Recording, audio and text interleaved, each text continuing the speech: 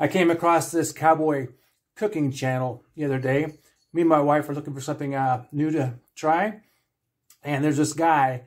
Uh, he was dressed like a cowboy. He had a cowboy hat, uh, vest, you know, everything that looks like a cowboy. I don't know if he was a cowboy, if he just bought his stuff at the cowboy store. But he did a video uh, strictly on, on, how to make hash browns.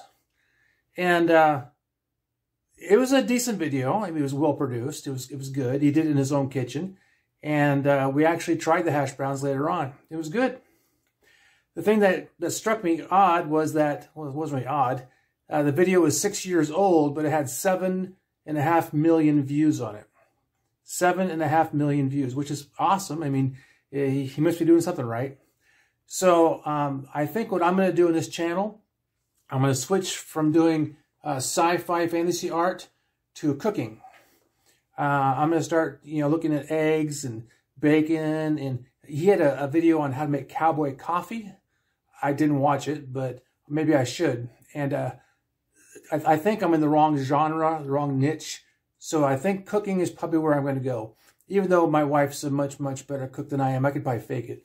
But uh, I don't know how what else to do to get this channel going. So maybe I could fix it so I have um, uh, cooking and fantasy art.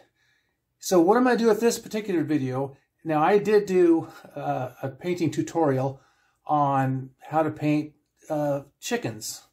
In these chickens, I actually shot, the, shot a picture down at the fair. It's my own photo that I rendered into a painting.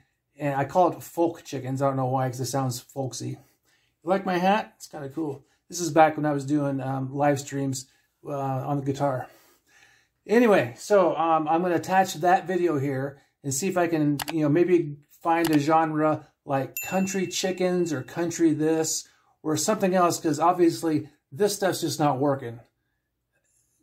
I don't understand why it's not working. I think that people would find this funny. If you like Godzilla movies, if you like uh, fun horror movies and that kind of stuff, I would think my channel would be right up your alley. But uh, either that or YouTube's just sending my stuff to the wrong people.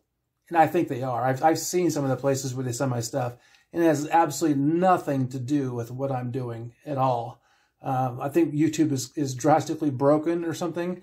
I mean, after I, this is my 198th video, 198, and I have 103 subscribers. So somebody's doing something wrong. So from now on, it's going to be how to make uh, hash browns and eggs and pancakes and cowboy coffee, and I'll have to go out and rent a horse or something. Or, you know, uh, I, I, bought this vest at a thrift store for like 10 bucks. This hat, you know, was probably a good 30 bucks. But, you know, I live streamed quite a bit at the time. That was during the pandemic. But um, I, I do like the hat, and I actually have a black one as well. So um, if you think that you'd like, so goes my cat. If you think you'd like to learn how to make hash browns and, and eggs and whatnot, let me know in the comments. Or if you think I should keep on doing this kind of stuff, or, you know, maybe combine them, the two. I remember back in, uh, there's some movies, some from the 50s or 60s.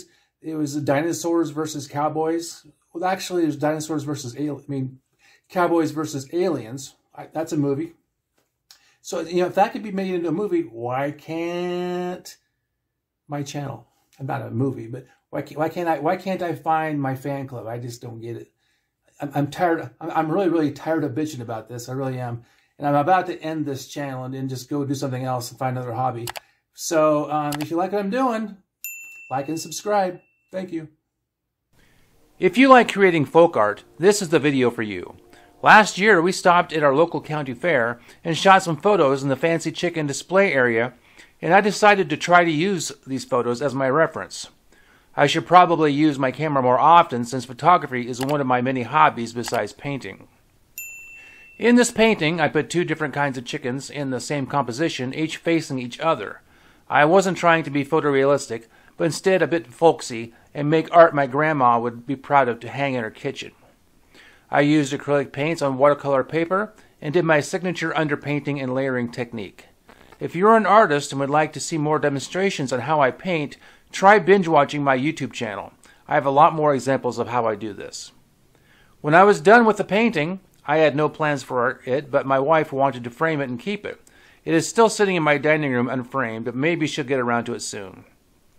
I hope you enjoyed watching me paint these chickens, and please like and subscribe to my channel and click the button to see all of my new artwork.